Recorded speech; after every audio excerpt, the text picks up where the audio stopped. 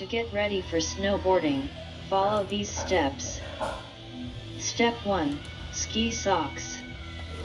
This is easier for the base layer to be put on. Step 2. Base layer. Make sure you pull them up very hard. This is an easier way. Step 3. Snow pants. They can be any type of snow pants you want. Step 4. Ski sweaters. Unless it is very hot, you are required to follow this step. Step 5. Ski jackets. Not recommended for spring as it makes you hot. Step 6.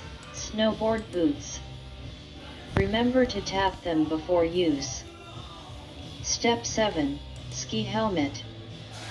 Follow this before inserting your gloves. This is easier to put your goggles on. Step 8. Gloves or mittens. If you follow this before step 7, it may be hard to tighten your helmet. Step 9. Snowboard. Just put them on like I said to.